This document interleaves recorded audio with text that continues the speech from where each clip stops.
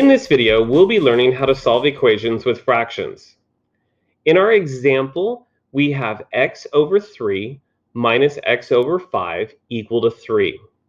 Now, to solve this equation, we need to isolate the variable by getting rid of the fractions.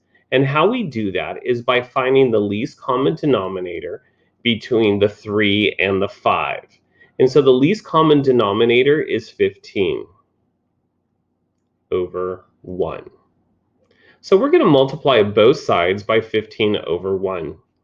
So utilizing the distributive property, we have 15 times x is 15x divided by 3. I forgot the x right there. And then 15 times a negative x is a negative 15x divided by 5 equals 3 times 15 is 45. Now our next step is to simplify these fractions. So 15 divided by 3 is 5x, or 15x divided by 3 is 5x. And 15x divided by 5 is 3x. And it equals 45. Now we're going to combine like terms. 5x minus 3x is going to give us 2x equals 45. And then we always know that the coefficient, the number that's in front of the variable x, is attached to it by multiplication. So using our inverse properties, we will divide by 2 on both sides to isolate the variable. Therefore, we will get x equals 45 divided by 2. Let's try another one. How about the letter variable m divided by 3 minus 2m divided by 5 equals 1 fifth.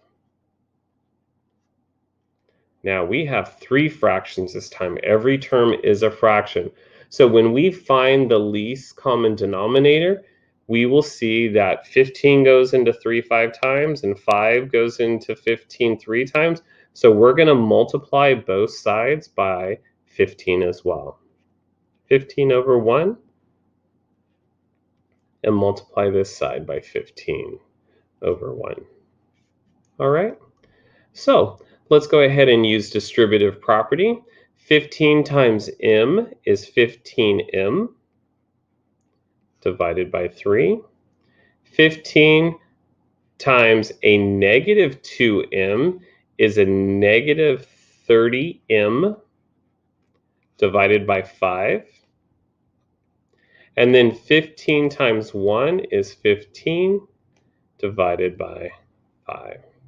Now you might ask yourself, hey, what did I do different? I just got rid of the um, did distributive property. So now let's simplify. 15m divided by 3 is 5m. Minus 30 divided by 5 is 6m. 30m divided by 5 is 6m. And then 15 divided by 5 is 3.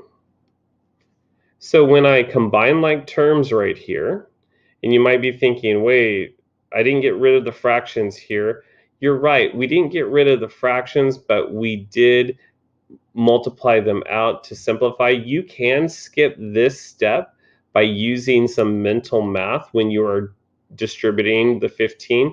15 times m is 15m divided by 3 is 5m. That will come in practice. So it might be a little bit easier going from fractions to having no fractions with skipping this middle step in between. So 5m minus 6m is a negative m equals 3. Now I'm not quite finished because this negative is really a negative 1. I usually say it's an invisible 1. So negative 1, I'm going to divide by negative 1 on both sides. That's going to give me m equals a negative 3. There you go. So when we're solving equations with fractions, we need to make sure that we find the common denominator, and that will tell us what we're going to multiply both sides with uh, of the equation. You can cut out this middle step right here by doing mental math, but if I'm just learning this, I probably am going to insert this step until I feel extremely comfortable from going from a fraction and coming back down to this this next step here. So keep on working at it. Check out with more videos at Math is Simple on YouTube channel. And good luck to you guys. See you guys later.